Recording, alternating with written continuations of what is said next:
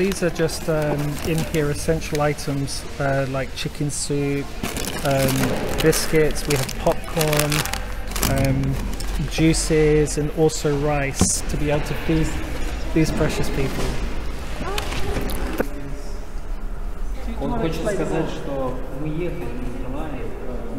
My son, when he came to me when he was 10 years old and he said, Daddy, what can I be when I grow up?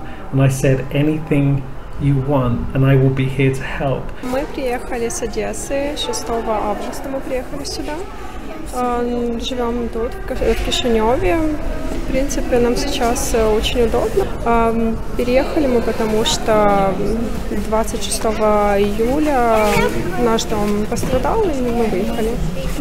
Мы очень благодарны за помощь, которую нам тут оказывают. And this is the point that just because you're stuck in poverty and because you're stuck in a situation uh, that we find ourselves with the war in Ukraine, children often can be forgotten. And four, the number four, has a double meaning. It means hope for whatever. Hope it's not just a number in English, but um, importantly, it covers the four pillars by which our organisation stands, and that is hope for people affected by poverty, human trafficking, conflict, and natural disaster. Е, Ми приїхали в Молдову в перший день, коли розпочалася війна, разом з моїми дітьми.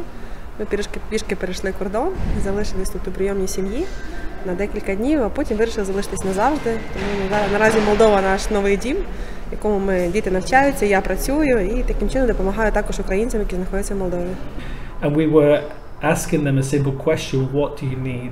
And so, with the support of my business community across, in particular, LinkedIn, we were buying everything at the time from fridge freezers to microwave ovens to washing machines. квартиры реально как бы нереальные цены. А так как бы, ну, те помощи, которые есть, то в принципе как бы вполне достаточно. And people ask me um, quite often, i- do I think the situation's improving for them or do I think it's getting worse? Um, I believe it's getting worse. Uh, at a time when we see a number of aid agencies pulling out of Moldova because they no longer have budgets, почти два года, с самого начала, в марте приехал. Эм, помощь, то есть помощь намного легче. Why Moldova?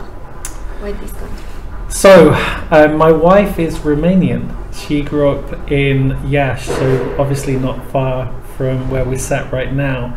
And she had been coming over to Moldova as a translator for many years, and she fell in love with the country. I'm a businessman, I'm an entrepreneur. Um, I never started life as a humanitarian, uh, but my wife was so impacted by the needs of the people across Moldova. She famously asked me six years ago, would I consider moving to Moldova? I appeared on a BBC television show called Dragon's Den. In the States, it's called uh, Shark Tank. So it's a, a room uh, with um, uh, entrepreneurs, investors. And I was in Dragon's Den in 2007 with my own product. And um, they, they didn't like my idea, but they liked me.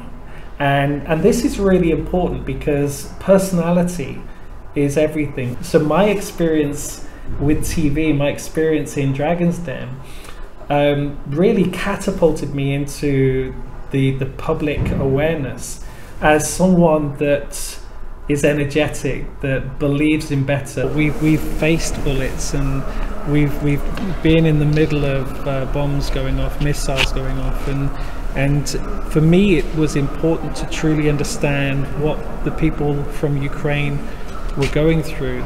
Honestly, um, I reached a point where I'm willing to give my life for this um, because there are incredible men and women fighting for the freedom of Ukraine, which impacts food security right across the world. And so the least I can do is offer up my own life to make a difference.